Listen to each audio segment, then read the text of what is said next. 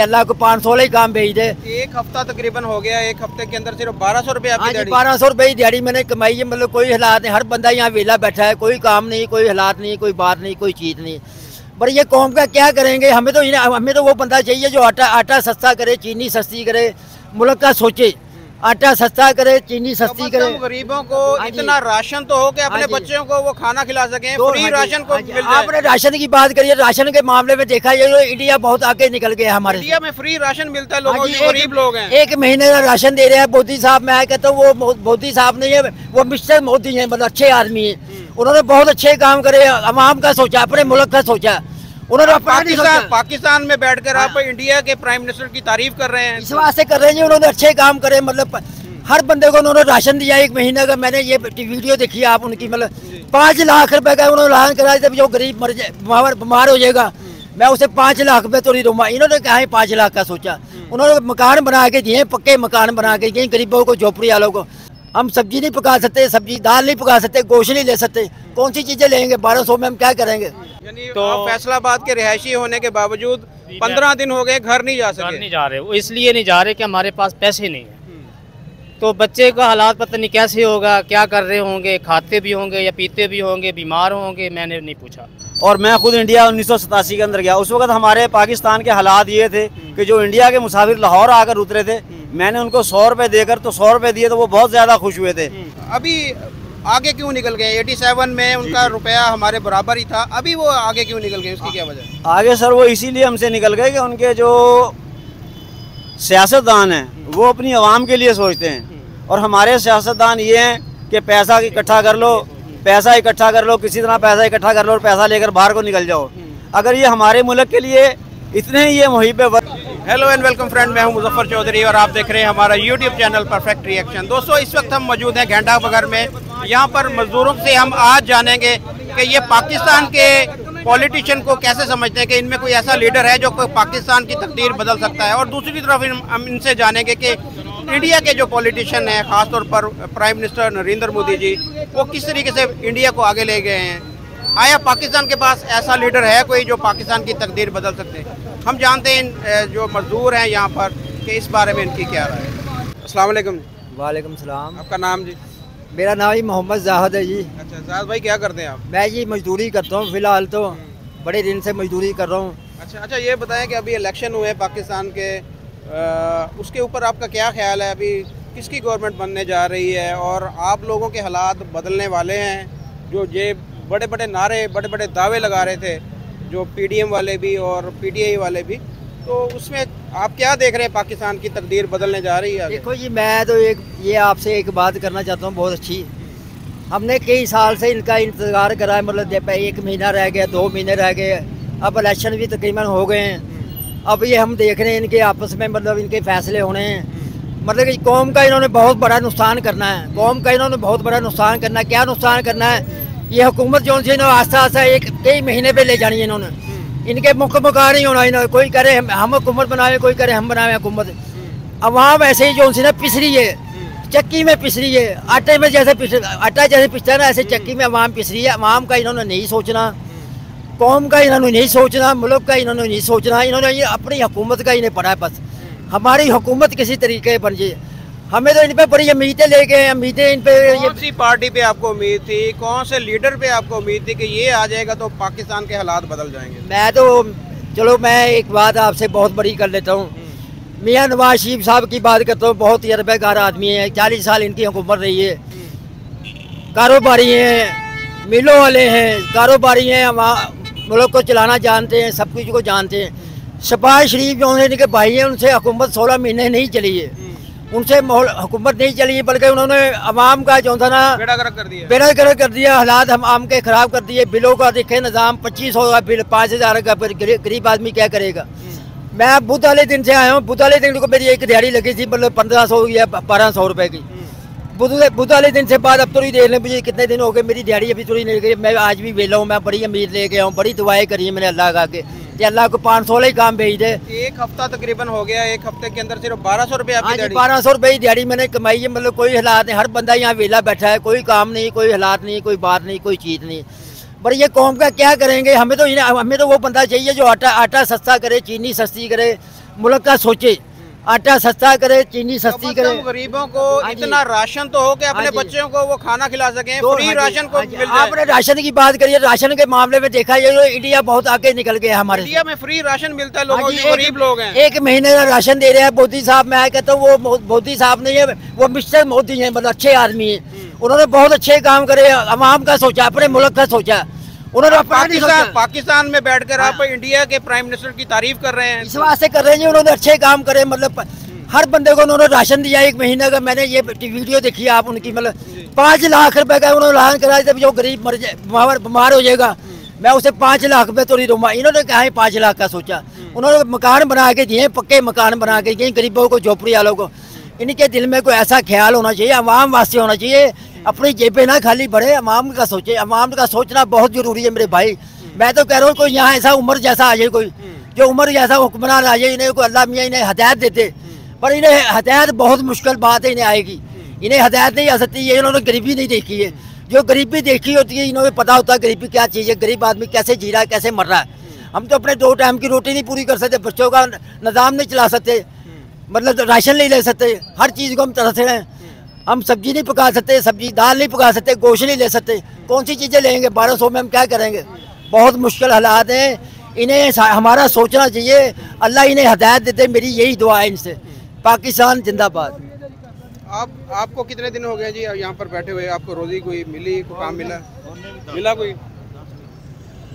हमको तकरीबन एक महीना ही हो गया हम्म, इधर। अच्छा इधर आ जाते हैं रात भी जागते हैं दिन भी जागते हैं।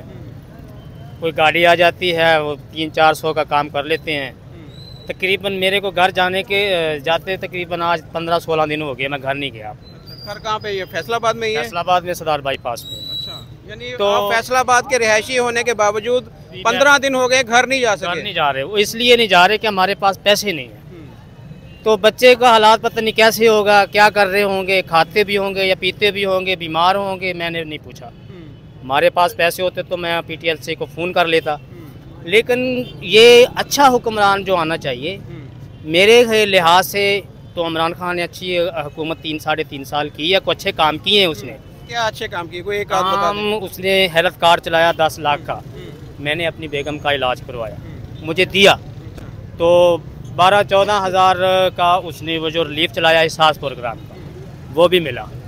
तो बच्चों के वजीफ़े लगे थे तीन चार हज़ार के पाँच हज़ार के वो भी मिले। हम्म। लेकिन जो मिला तो मैंने अभी कुछ नहीं मिल रहा आपको? अभी कुछ नहीं मिल रहा। हम्म, तो मैं ये नवाज़ शरीफ साहब से यही दरख्वास्त करना चाहता हूँ। सबसे यही दरख्वास्त करना चाहता हूँ कि जो काम का सोचो भाई आप इनका वोट लेने के लिए जब वोट लेना होता है इनके आगे पीछे फिरते हो जब वोट लेके चले जाते हो बाद में पूछते ही नहीं इनसे तो इन बेचारों का भी ये पाकिस्तान है जितना आप इस मुल्क को लूट रहे हो तो ये इन लोगों का क्या कसूर है? इनका भी हक बनता है कि इनके बच्चों को भी दो वक्त का खाना मिलना चाहिए इनके बच्चों को भी तालीम मिलनी चाहिए इनके बच्चों को भी जो है वो हेल्थ की सहूलत मिलनी चाहिए। ये इनके बच्चे इंसान नहीं है इनके बच्चे भी इंसान हैं इनको भी कुछ ना कुछ मिलना इनके चाहिए। बच्चे वो जो हैं वो यूनिवर्सिटियों में पढ़ते हैं साढ़े बच्चे वो जो हैं वो जो गाँव में बाज़ारों में खेलते हैं उसको कुछ स्कूल की कोई फ़ीस नहीं दे सकते हम स्कूल की। हम स्कूल की फ़ीस अदा नहीं कर सकते। मेरे बच्चे आज तकरीबन दस साल तकरीबन पंद्रह पंद्रह दिन हो गए हैं कि मैं अपने बच्चों को स्कूल की फ़ीस देने के लिए मेरे पास को पैसा नहीं है। सरकारी स्कूल में नहीं भेजते आप बच्चों को? नहीं सरकारी स्कूल में प्राइवेट स्कूल में पढ़ाता था लेकिन पढ़ाई अच्छी होती थी उधर। तो उसकी फ़ीस जो है वो बच्चों को ना उसने हटा दिया। वो कहते ये बच्चे हम हम नहीं नहीं पढ़ा पढ़ाएँगे। नहीं पढ़ाएँगे। प्राइवेट में कैसे लेके जाऊँ उसको? तो मेरे पास पैसे होंगे तो फिर ही लेके जाऊँगा। तो बस मेरी ये बात यही है कि इनको हदायत आनी चाहिए। इस वज़ीर अजम जो भी है, मुल्क का वो जो वज़ीर अजम बनना चाहता है, वो जो बनेगा, लेकिन उनको यही हदायत आनी चाहिए कि गरीब आदमी का कुछ ना कुछ एहसास करें। कुछ ना कुछ उनका, उनको देने के लिए, खाने पीने के लिए कुछ उनका एहसास करें। अच्छा आप बहुत गुस्से में थे। मुझे एहसास है कि आप बहुत परेशान हैं, बहुत दुखी हैं। आपको देखें यहाँ पर मजदूरी नहीं मिलती, आपको काम नहीं मिलता और गवर्नमेंट की तरफ़ से कोई सपोर्ट भी नहीं है। कोई ऐसा, ऐसे लीडर है, आपने नवाज़ शरीफ का नाम लिया। अगर नवाज़ शरीफ भी आ जाए तो कुछ कारोबार आपके बेहतर हो जाएँगे, काम चलने शुरू हो जाएँगे या या क्या ऐसे ही आप यहाँ पर? देखो जी, तीस साल तीस साल या चालीस साल का निज़ाम पीछे, बीस साल पीछे जाएँ तो नवाज़ शरीफ के काम अच्छे करे हुए हैं। नवाज़ शरीफ के काम अच्छे करे हुए हैं, शहबाज शरीफ साहब ने कोई काम नहीं करे अच्छे। जो शहबाज शरीफ साहब ने अच्छे काम करे होते, सोलह महीने अच्छे करे होते, हम उसे अच्छा कहते। मतलब बात करने का मतलब है जो मतलब इमरान खान ने महँगाई करी उन्होंने उससे ज़्यादा महँगाई करी मतलब।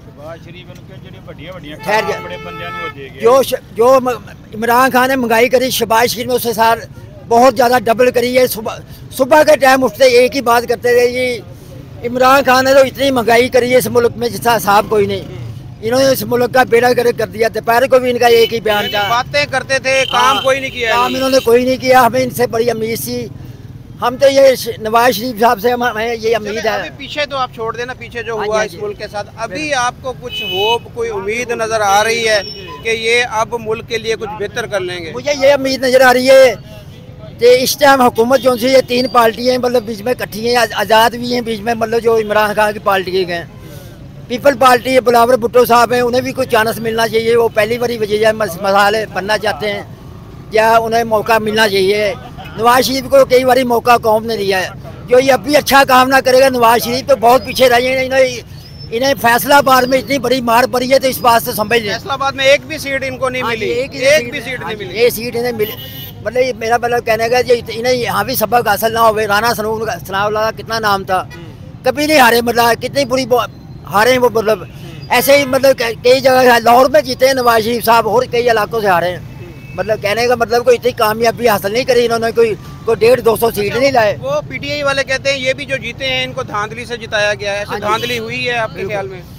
मेरे सामने तो इलेक्शन अच्छे हुए हैं कोई इतनी लड़ाई नहीं हुई मतलब कोई ऐसा मसला नहीं हुआ थोड़ी बहुत ही लड़ाई है झगड़े हुए हैं। ये तो धांधली हुई या नहीं? मेरे हिसाब से तो धांधली कोई नहीं हुई फौज ने फिर भी कोई अच्छे काम करें। अल्लाह इन्हें हदायत दे फौज को अच्छे काम करें। हम तो ये बात करना चाहते हैं ये फैसला जो इन्होंने करना है आपस में फै- बहस अपना कर ले फैसला अच्छे तरीके से। कौम का सोचें आवाम का सोचें गरीब का सोचें। गरीब का सोचेंगे तो मुल्क खुशहाल होएगा वरना बहुत हालात इस मुल्क के ख़राब होएँगे।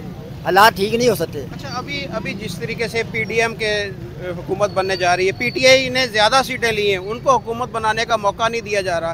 तो अभी भी रैली यहाँ पर निकलेगी आप समझते हैं कि हालात को खराब होने जा रहे हैं अगर हालात हुकूमत बनाने का मौका ना दिया गया हालात इन्होंने खुद आप खराब करें वो कैसे खराब करें? इमरान खान साहब जो से मतलब जेल में इस टाइम उन्हें इन्होंने बंद करा जजों ने मतलब फैसले दिए हैं मतलब मतलब जो अभी भी इनका यही रौला रहेगा मेरी बात मैं आपको पहले ये आने आने वाले दौर की बात पहले ही बताना चाहता हूँ जो इनका रौला रहना है।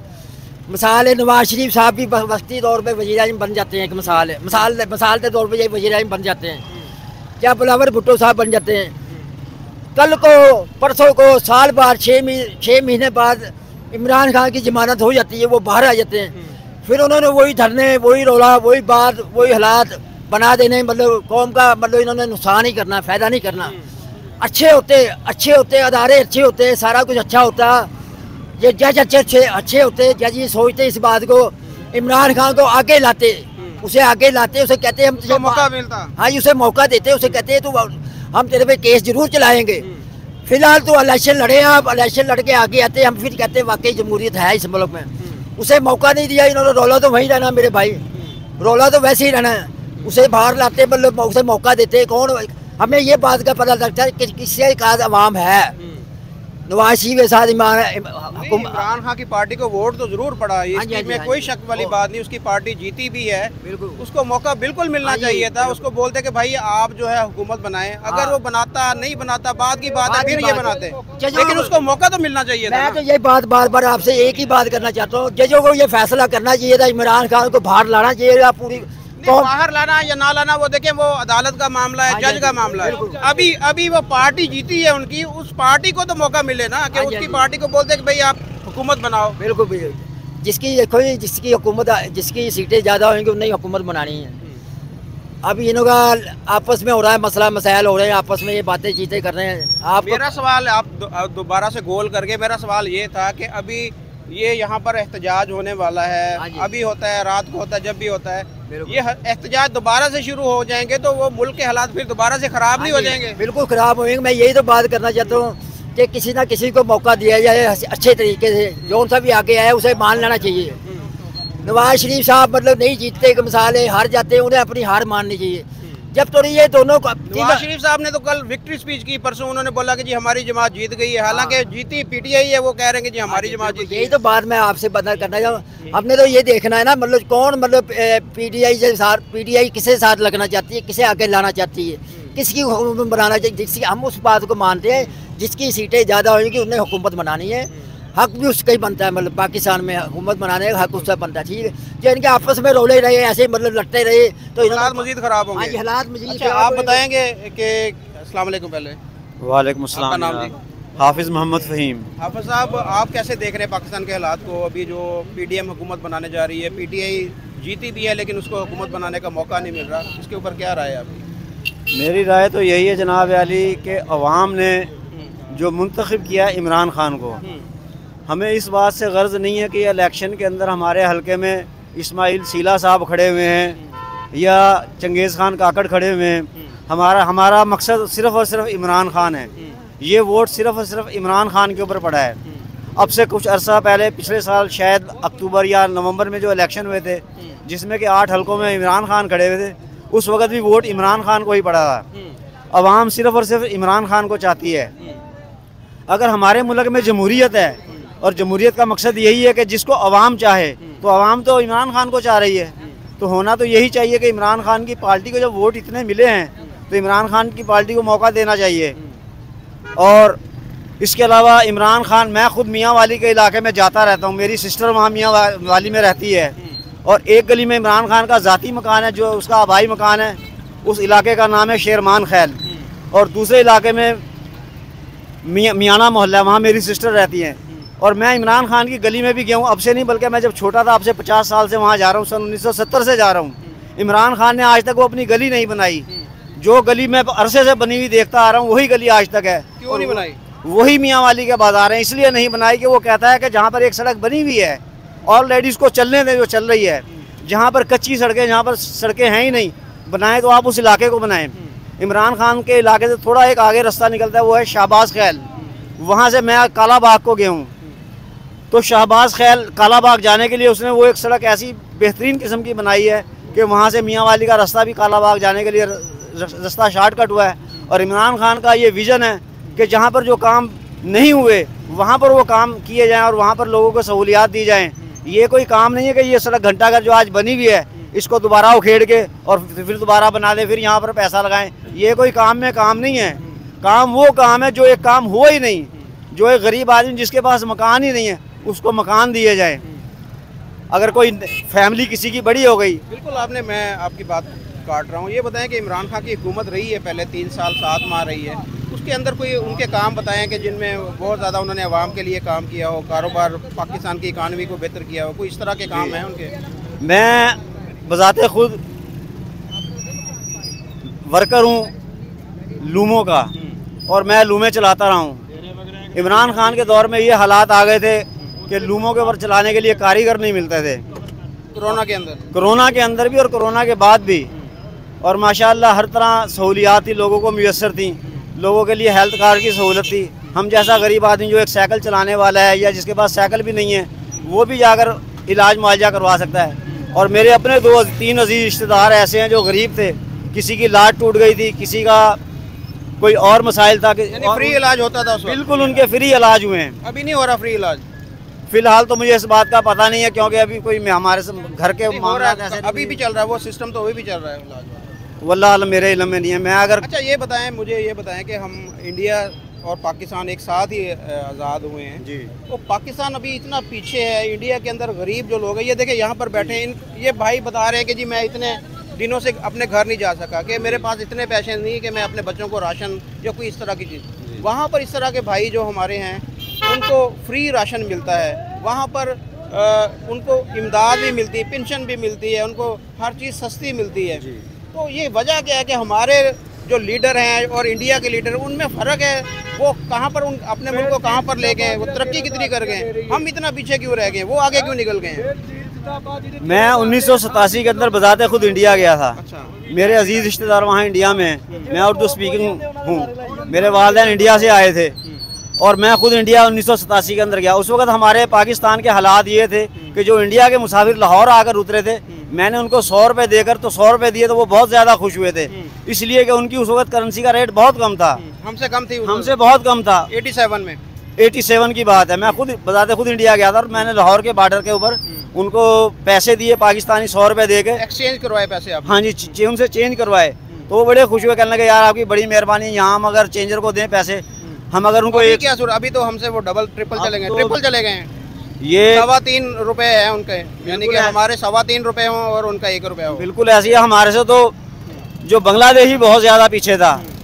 और इंडिया की बात कर रहे थे फिर अभी आगे क्यों निकल गए? 87 में उनका रुपया हमारे बराबर ही था। अभी वो आगे क्यों निकल गए? उसकी क्या वजह आगे सर वो इसीलिए हमसे निकल गए कि उनके जो सियासतदान हैं वो अपनी आवाम के लिए सोचते हैं। और हमारे सियासतदान ये हैं कि पैसा इकट्ठा कर लो, पैसा इकट्ठा कर लो, किसी तरह पैसा इकट्ठा कर लो और पैसा लेकर बाहर को निकल जाओ। अगर ये हमारे मुल्क के लिए इतने ही ये मुहिब वतन हैं, अपनी दौलतों को वहाँ से लेकर पाकिस्तान में आए, यहाँ आकर कारखाने लगाएँ, हमारे जो आवाम, जो हम लोग, ये फारिग बैठे हुए हैं, ये कारोबार हमको मिलेगा। और अपनी जो जायदादें बाहर के मुल्क में बनाई हुई हैं, उन जायदादों को वहाँ से फ़रोख्त करें, फ़रोख्त करके अपनी जायदादें पाकिस्तान में लेकर आएँ। जिस तरह एक आम हमारे लोग रह रहे हैं यहाँ पर। हमारे जितने भी लीडर हैं उनके पास दो दो पासपोर्ट बने हुए हैं। एक पाकिस्तान का पासपोर्ट है किसी के पास जो जो इंग्लैंड का पासपोर्ट है किसी के पास में कनाडा का पासपोर्ट है किसी के पास अमेरिका का पासपोर्ट है। तो ये जब यहाँ पर इनके हालात ख़राब होते हैं वो मुल्क से बाहर भाग जाते हैं। बच्चे इनके पहले ही बाहर हैं जायदादें इनकी पहले बाहर हैं। तो ये सारे सिस्टम ख़त्म होना चाहिए कि एक ही पासपोर्ट हो सबके पास। वो पाकिस्तान का रखे या अमेरिका का रखें? वो पाकिस्तान का रखे या इंग्लैंड का रखें? वो पाकिस्तान का रखें या कनाडा का रखें? ऐसे नहीं होना चाहिए। मैं सऊदी अरब के अंदर भी उन्नीस सौ अठासी में गया था। उन्नीस सौ अठासी से लेकर उन्नीस तक मैंने आठ साल सऊदी अरब में गुजारे हैं। जनाब नवाज़ शरीफ का वहाँ पर भी मकान है अलहमरा अलहमरा सिटी के अंदर, जो अमरीका के सफारत खाने के बैक साइड पर है। इनका क्या हक बनता है कि वहाँ पर ये अपनी जायदादें बनाते हैं? और वहाँ से अपनी जायदादों को ख़त्म करें। जिस तरह के हम और जब 1990 के अंदर ये सऊदी अरब की ए, अपने कव- कवैत के ऊपर जो हमला किया गया था इराक ने और वहाँ पर कब्ज़ा किया। तो सऊदियों ने उनको यमनियों को ये कहा था कि आप हमारे मुल्क से निकल जाएँ या आप हमारी नेशनलिटी ले लें। तो आप यकीन जाने उन्नीस सौ नब्बे इक्यानवे के अंदर मैंने यमनियों को भर भर कर ट्रक जाते हुए अपने मुल्क को देखा। उन्हें कहा हम सऊदी अरब की नेशनलिटी नहीं लेंगे क्योंकि हम यमनी और यमनी रहना चाहते हैं। मुल्क से इतना प्यार करते अपने हैं। मुल्क से वो इतना लोग प्यार करते हैं। तो ये हमारे मुल्क के कैसे लोग हैं जो कहते हैं जी मैं मुहिब वतन हूँ मुहिब वतन हूँ। ये क्या मुहिबुल वतनी है?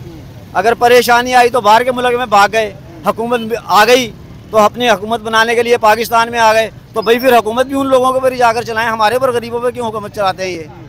अपनी जायदादों को यहाँ लेकर आए अपने बीवी बच्चों को यहाँ लेकर आए। आवाम को कब समझ आएगी कब ये अपने वोट का सही इस्तेमाल करेंगे और सही ऐसे लीडर को मुंतखब करेंगे जो जिसकी जड़ें पाकिस्तान के अंदर हो जो पाकिस्तान से प्यार करता हो ये कब ऐसे होगा?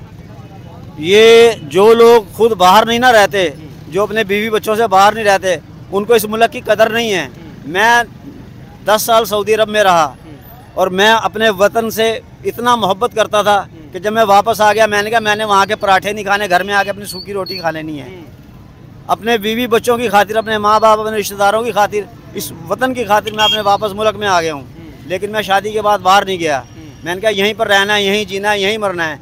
तो हुबुल वतनी यही है कि सब के सब लोग जो जायदादें बाहर बनाते हैं वो ख़त्म करें यहाँ आकर रहें अगर जाते हैं वक्ती तौर पर वहाँ जाएँ काम करें पैसा कमाएँ और अपने मुल्क में भेजें। जितने भी हमारे गैर ममालिक में जो लोग अपने मुहिबुल वतन हैं वो पैसा कमाते हैं और यहाँ पर भेजते हैं। ये हमारे कैसे ये मुहिब वतन लीडर है कि पैसा ले के बाहर ले जा निकल रहे हैं ये? ऐसा आखिर में सवाल है आपने बड़ी अच्छी बातें की मैं बिल्कुल आपकी बातों से मुतफिक हूँ। आप ये बताएँ कि आप इमरान खान के सपोर्टर हैं। आपके लिए इमरान खान पहले है या ये पाकिस्तान पहले? है? मेरे खा, मेरे लिए सबसे पहले तो है पाकिस्तान। इसलिए कि पाकिस्तान है तो हम सब हैं। लेकिन कोई ऐसा लीडर जो पाकिस्तान के लिए सोचे, वो लीडर भी हमारे लिए ज़रूरी है। और ऐसा लीडर सिर्फ़ और सिर्फ़ एक इमरान खान है। जिसने कि अपना, अगर वो लालची होता, वो जमायमा खान को ना छोड़ता, उसकी पूरी जायदाद का वो मालिक था। लेकिन उसने अपने मुल्क की खातिर, इस मुहब वतन होने की वजह से, उसने अपनी बीवी बच्चों को खैर बात कह दिया, वो वहाँ रह रही है, ये यहाँ रह रहे हैं। लेकिन यही एक मुहिबुल वतनी है। इससे हटकर कोई ज़्यादा मुहिबुल वतन नहीं हो सकता इमरान खान के अलावा। बहुत शुक्रिया। Thank you